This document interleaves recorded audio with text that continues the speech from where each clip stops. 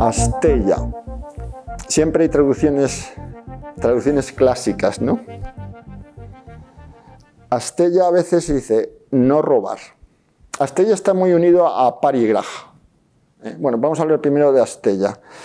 Eh, yo lo resumo en decir, de todo lo que te ofrece la vida, la naturaleza, tomar lo que necesitas. Eh, puedes aplicarlo en diferentes niveles. En un nivel tan físico eh, como los bienes más materiales que necesites, como alimentación, refugio, lo que tú consideres.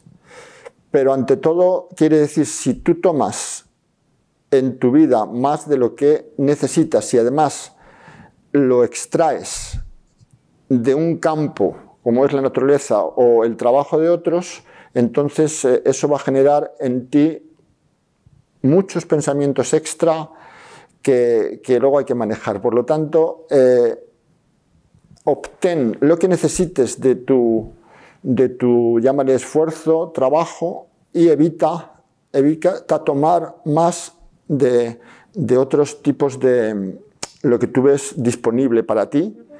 Evita tomarlo si no lo necesitas.